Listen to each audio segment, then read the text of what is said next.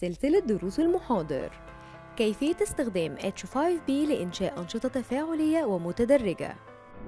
اضغط على أيقونة الإعدادات واختار منها Content Bank علشان تقوم برفع المحتوى H5P معد مسبقا وبيمكنك إضافة محتوى جديد من صفحة المكرر.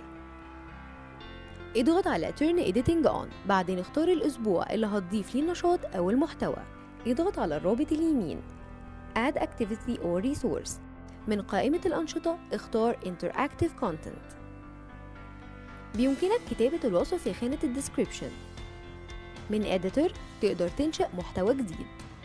اضغط على Interactive Video بعدين اضغط على المربع Add Video لرفع الفيديو من جهازك أو وضع رابط فيديو واضغط على Insert. من تبويب Add Interactions قوم بكتابة عنوان الفيديو واختار نوع التفاعل.